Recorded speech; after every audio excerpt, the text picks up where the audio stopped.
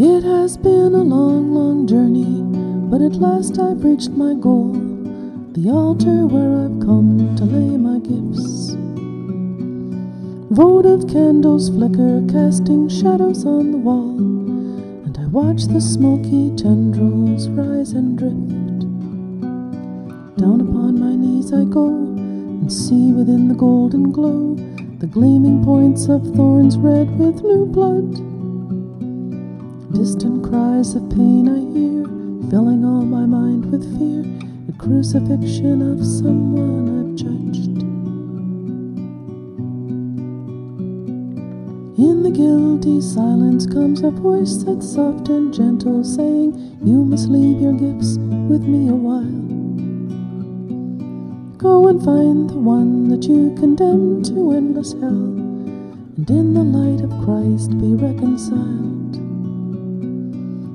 Forgiveness at his feet, that your joy may be complete. In the memory there is only one.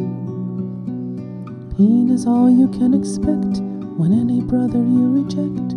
So let your hate and anger be undone. In the darkness looms a cross, I see his body hanging there, and fear that my forgiveness comes too late.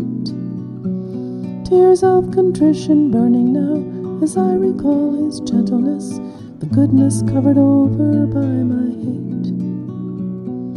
Down upon my knees I fall, and to his lifeless form I call, Brother, all your hurt I would undo. God, forgive me, I've been blind. I tried to cast guilt from my mind by seeing all my sins and shame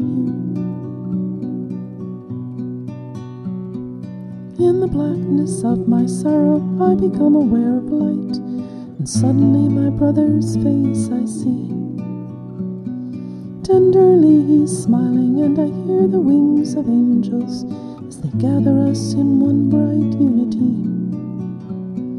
Kneeling at the altar, then, with this dear and holy friend, I see the crown of thorns has been replaced.